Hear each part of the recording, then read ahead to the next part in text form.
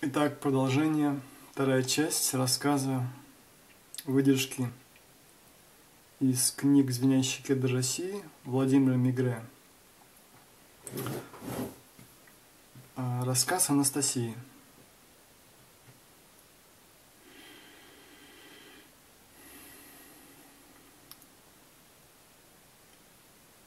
Военачальник успел отдать приказ части подоспевших лучников приготовиться встретить всадников ведрусских грядом стрел. Но всадники, оказавшись на расстоянии, когда можно было поразить стрелой, вдруг соскочили со своих коней и побежали рядом с ними. Приближившись вплотную к войску римлян, молодые рус, ведрусы образовали овал, в середине которого – находились, находилась половина отряда и лошади. Половина отряда и лошади. Вторая половина, врезавшись в ряды стро... Э, строившихся римлян, вступила в бой. В каждой руке Ведрус держал меч. Они одинаково ловко орудовали правой и левой рукой. Но не, но не разили на повал, а выбивали из рук оружие противника – и не ранили смертельно. Военачальники и обезоруженные римские легионеры не давали возможности сразу подойти и заменить их новыми солдатами. А, раненые и обезоруженные римские легионеры не давали возможности сразу подойти и заменить их новыми солдатами.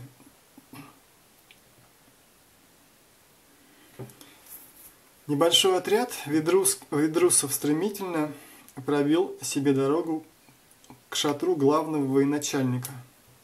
Радомир мечом разрубил засов на клетке, в которой находился старик Ведрус, поклонился ему, потом взял его за стан и, легко подняв, посадил на лошадь. Двое молодых воинов из отряда Радомира схватили главного военачальника, бросили его на круп другой лошади – и увлекли в середину своего овала. Быстро пробивая себе дорогу, но не в обратном направлении, а вперед, отчаянный отряд И вскоре они вышли из, из толчии войска римского, вскочили на своих лошадей, но проскакав несколько минут, остановились на небольшом пригорке, спешились Почти все легли на траву, раскинув руки и замерли. Плененный римский военачальник с удивлением увидел, лежащие на траве ведрусы крепко спали. Их лица, благостные улыбки осветляли. Мирно, мирно траву щипали рядом с каждым спящим их скакуны. Лишь два дозорных наблюдали за действиями римских войск. Оставшиеся, э, оставшиеся без полководца римские военачальники некоторое время спорили, обвиняя друг друга в случившемся. Потому что потом, потом спорили, кому принять командование и как действовать. В конце концов,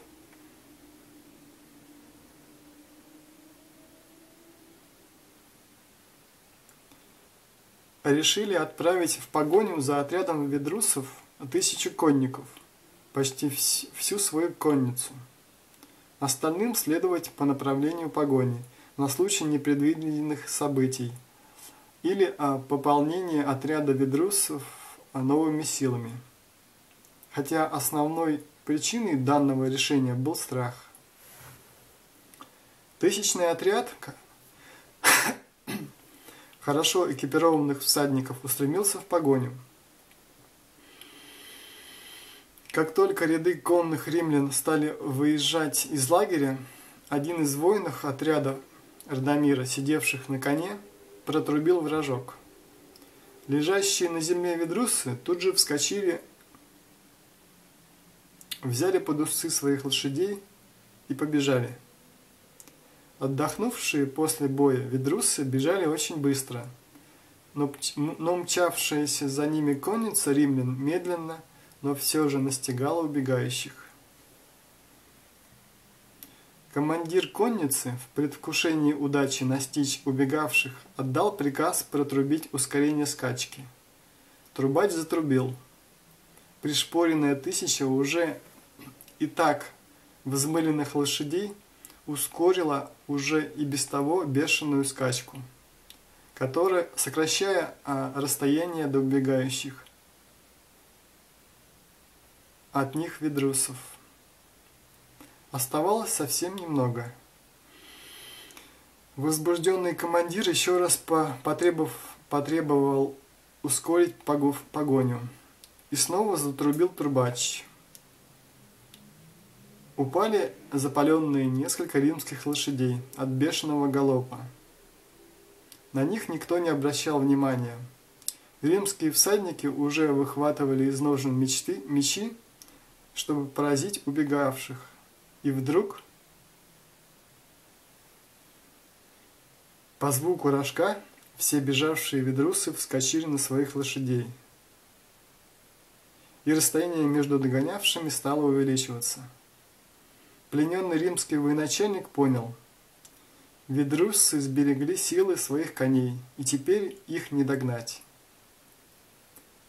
Они и под стариком ведрусом, и под ним сменили лошадей – еще увидели римляне, увидели, еще увидел римлянин, что не сидели, а ничком лежали на крупах лошадей своих ведрусы, за гривы уцепившись.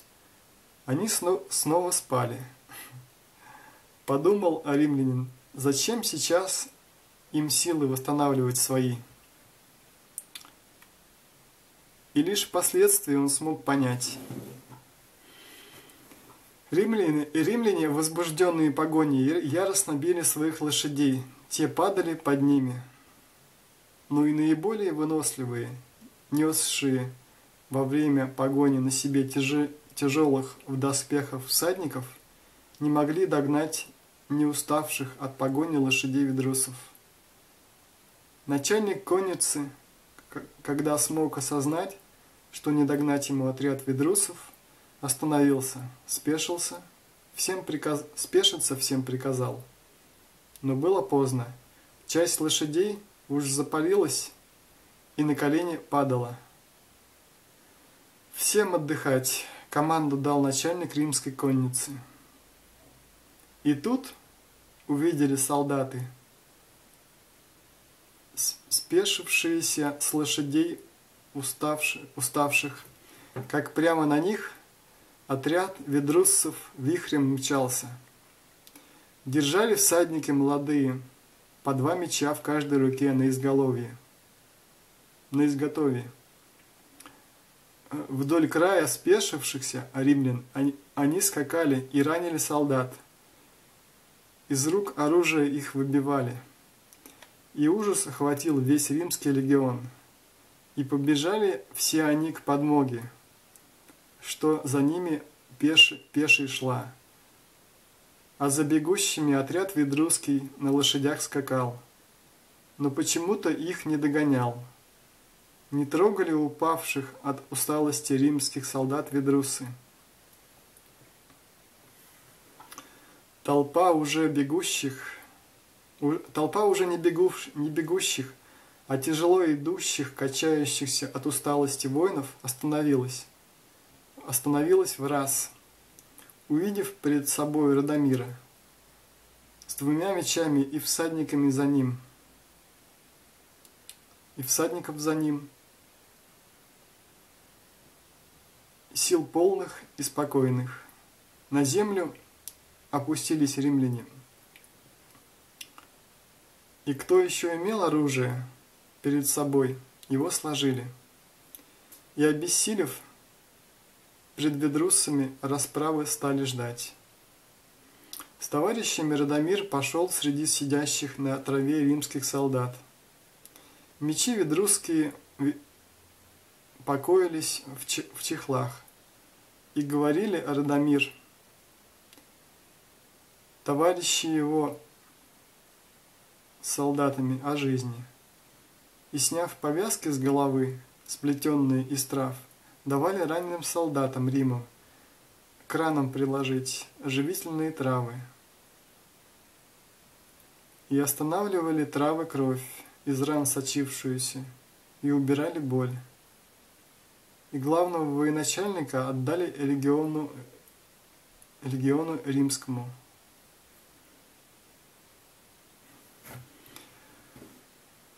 Так, точка и следующее повествование уже следующее, то, что было. Здесь все ясно, что произошло. И следующая страница уже с другого эпизода начинается. То есть продолжение.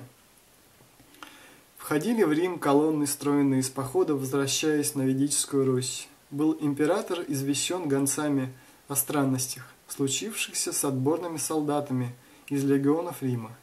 Когда увидел сам своих солдат, солдат и командиров, смущение несколько недель не покидало императора. Потом издал приказ он тайный. Отряды все, что шли походом на Ведическую Русь, солдат и командиров из армии убрать и в разные концы империи их расселить. Строго запретить даже в кругу своих, бли... своих друзей и самых близких родственников о том походе говорить. Сам император больше никогда на Русь с войной войска не, не посылал. И в, и в книге тайной написал преемникам своим. «Коль сохранить империю хотите, войны с ведрусами и в мыслях не ведите». Не глупым император был. Он понял, что он понял, когда воинов с похода возвратившихся увидел. Его войска вернулись целы, невредимы но нет добычи с ними, и нет в, них в их лицах злости, нет желания солдатами служить. Если таких оставить в армии имперской, кто знает, может быть, подобным нежеланием в бой вступать, они всю армию империи способны заразить. Преемник императора все, все ж попытался вновь завоевать ведрусов. О тактике их многое узнав от тех, кто с ними ранее соприкасался, он десять тысяч воинов в поход на Русь направил. И подошли солдаты вновь к селению ведрусов, небольшому, и стали лагерем, и укрепления соорудили быстро. Гонцов призвать старейшин снарядили – а в час назначенный военачальники увидели, идут в их лагерь грозный отселения Ведрусского лишь девочка лет десяти, да с ней малыш, летам к пяти. Пред ними распусть... расступились воины, и дети в центр лагеря между собою споря шли. Малыш, дергая сестру за юбку, говорил – Когда, Палашечка-сестричка, ты мне не дашь переговоры самому вести? Я о тебе подумаю негоже. Что ж ты удумал обо мне негоже, сорванец? Сестра спросила брата. Подумаю я о тебе, Палашечка-сестричка, что, что девкой дюже вредную ты рождена. Негоже думать так, Негоже? Вот и дай, чтоб я переговоры вел с врагами. Когда я соглашусь, как будешь думать обо мне? Подумаю, как, о, как всех красивее, умней, умнее и добрее моя палашечка-сестричка. Переговоры, братик, ты начни. Негоже мне с, с пустоголовыми общаться.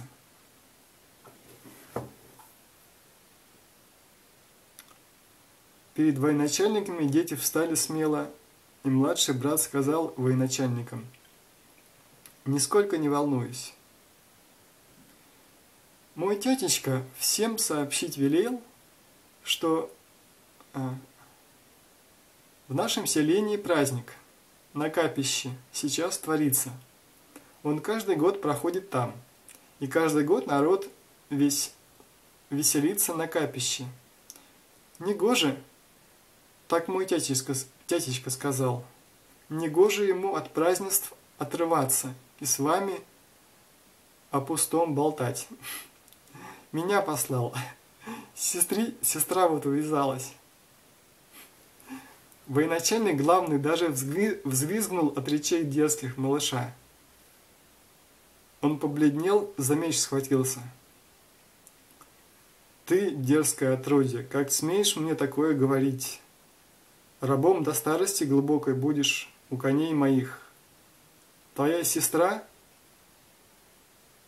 многоточие. И речь о сестры. «Ах, дядечки!» – вмешалась в разговор сестра. «Ах, дядечки! Быстрее бросайте свои цацки!»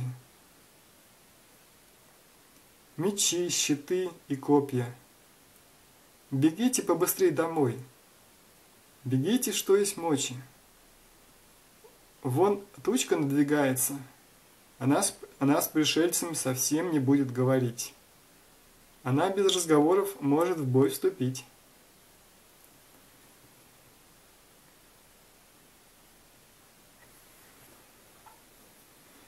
И развернула девочка свой узелок, щепотку взяв пыльцы какой-то. Брата осыпала, брата обсыпала, потом еще взяла, остатки на себя посыпав а тучка низко над землей летела к стану римлян, гудела и в размерах все росла. Собой накрыла стан. А вскоре доспехи римлян на земле лежали, щиты их, копья и мечи. Шатры военачальников пустые и солдатские палатки. Средь скарба ли римлян братик и сестра стояли – и братик говорил старшей сестре своей. Поговорить ты все же мне не дала с врагами, Палашечка-сестричка. Я им не все сказал, чего хотел. Зато ты начал, не сердись, коли немного помешало тебе, ведрусу воину, защитнику родной земли.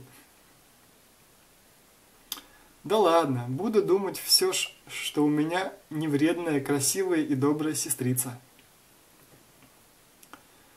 Среди доспехов, брошенных, э, ступая, шли к своему селению. Сестра, красавица и брат. Совсем казалось небольшою удаляющаяся тучка. Небольшой, но, но в ней все десять тысяч отборных воинов из Рима – а вы...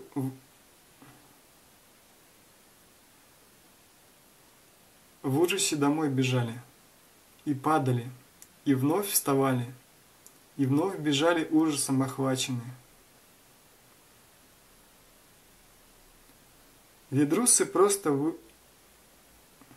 Ведрусы просто вынесли решение. В поместье каждом, а их в было более двухсот, Каждый открыл, открыл по 10 с пчелами колод. Каждой колоде пчел примерно 15 тысяч было. Вот сколько всего пчел в тучке получалось. Вот так и, прода... вот так и продолжали жить счастливые ведрусы, не зная войн, не ведая беды. Века... Веками не были страшны им никакие внешние враги. И все же Русь была покорена. Когда, поддавшись на уловки хитрые, собою силу, супротив себя, произвела. Конец повествования или конец отрывка интереснейшего. И в конце очень грамотное заявление. Собою, супротив себя, произвела силу.